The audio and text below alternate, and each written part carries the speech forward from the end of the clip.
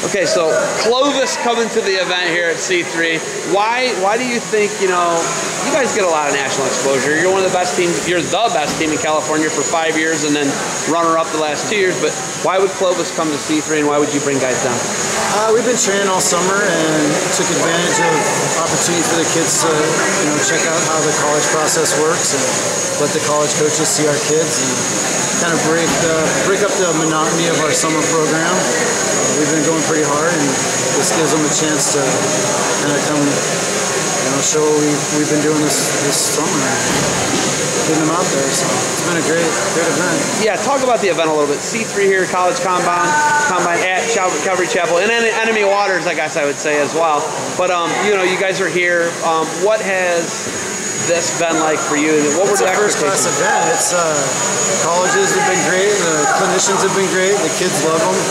They've been talking about the different ones that they like the best, and and then uh, facilities are great. I, I mean not many times you can look above and watch the, the watch the whole thing go down and, and, see what the kids are learning and talk to the coaches one on one. It's been a first class event. Real impressed. Looking at you guys, um, I mean, you got a great tradition. You know, in the last 20 years, it, has been off the hook. I mean, it's been state title after state title, runner-up finish, champs, multiple yeah. champs every year. Um, why does Clovis, you know, like, you don't really need to come to this event. That's, I guess, my thing is like, or is it about your guys just getting better? Yeah, I mean, just kind of come and wrestle different competition. We've been wrestling in the Central Valley, wrestle the same teams a lot, but I mean, that makes us better because they're really good teams. And we just wanted to come and, you know, take a break from, I guess, the Fresno Heat yeah, man, what is going on up there? Chamberlain told me. Chamberlain's like, our, yeah, you just don't go outside. AC, so that's good. But no, just break it up and, and kind of showcase what we've been learning this year and, and work with different kids and and then get that college exposure. And not all colleges can't always come to us, so we felt like it was you know, a good chance to go somewhere else and, and let them kind of show what they've been doing. Clovis grinds, man. I mean, you guys a lot of, got a lot of guys that go into the Midwest. Yep. All those schools do. You know, when I look at not just Clovis, Clovis West, East, yeah. South, North, South Central, South. I'm, i know, but I know uh, Buchanan. Sure. You got all these schools right in that that same. It's unified school district, isn't it? It is. It's yeah. a unified school district. You guys grind. They're not afraid to go and, and, and go to the Midwest. They don't normally stay all the time in California. Yeah, we've been to New Jersey the last two years. Ohio before that. I did that. It was it was negative 10 degrees at Top Gun. Yeah.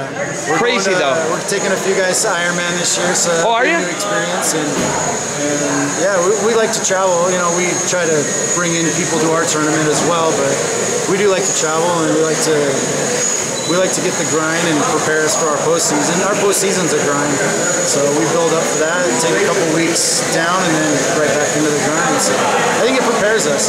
I don't think you know a soft season all year is going to prepare you for the final kick of California states. And so I think it builds us and it makes us better do you think that you guys have got the access to coaches that you wanted here? You, know, you got West Point, Buffalo, some guys who are kind of not in the region, yeah, but you've got some access to coaches. Did you like the access to coaches?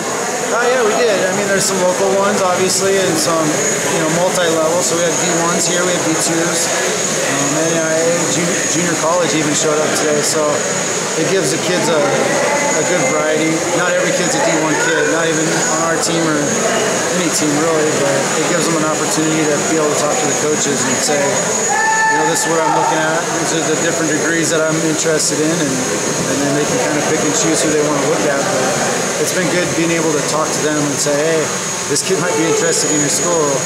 I have one kid that I didn't know it, but his dad went to a college that's here, and it's like he was telling me in the van ride back after practice yesterday. He's like, yeah, my dad went there. I'm like, there you go. It could be a family thing, you know. And so it was kind of neat, and it's a good exposure for him. All right, coach. You got anything else for me? Hey, thanks sure. for the thanks for the time. Thanks. Safe travels to you guys back up to the Central Valley. Thanks.